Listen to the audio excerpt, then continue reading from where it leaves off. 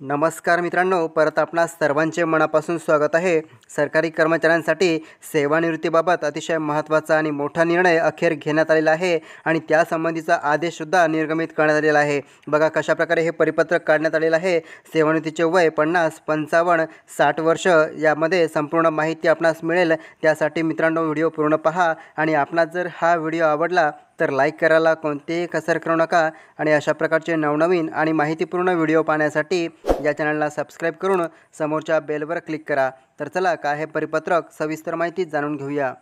तर मित्रांनो सरकारी कर्मचाऱ्यांच्या सेवानिवृत्तीबाबत कशाप्रकारे परिपत्रक काढण्यात आलेलं आहे अधिकृत परिपत्रक याविषयी आपण माहिती जाणून घेऊया की कशाप्रकारे आदेश देण्यात आलेला आहे.